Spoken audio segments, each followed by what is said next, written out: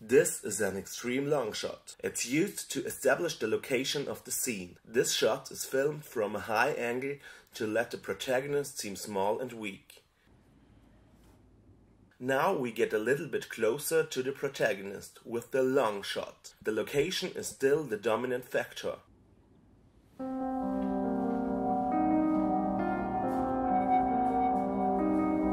This is filmed from a low angle to convey a feeling of reverence to the scene.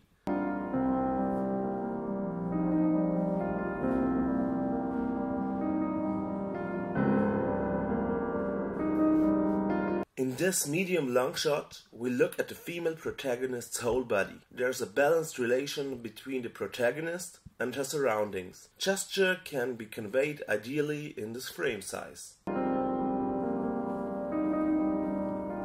Here we got an extreme close-up of the protagonist's thigh.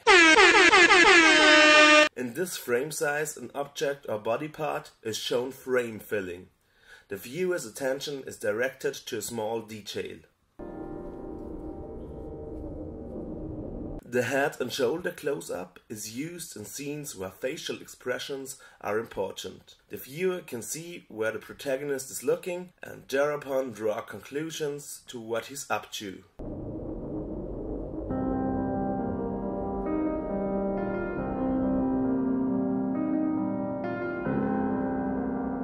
The male protagonist is seen from head to hip in this shot. This is called a medium close-up. This frame size matches the natural visual situation of us the best. Gesture is more important than facial expression. In a close-up, the face of the protagonist is shown.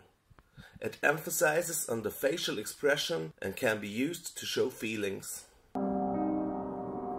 Here we've got another medium close-up, but the perspective is called the Dutch angle. The vertical axis of the camera stands in an angle to the vertical axis of the filmed situation. This conveys a strange feeling in the viewer.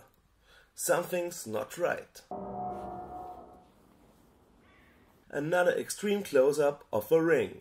I think you have lost this. We dissolve the scene with another medium close-up.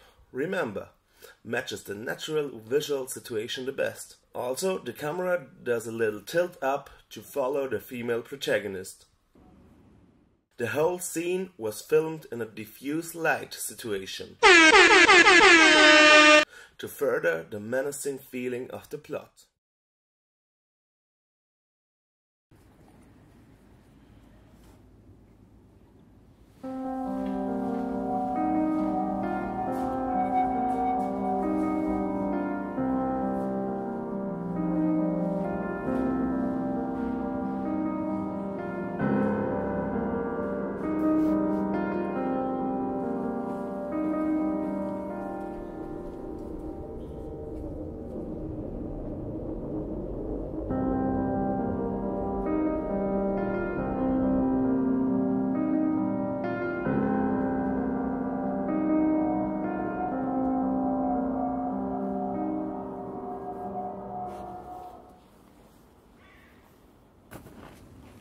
I think you have lost this.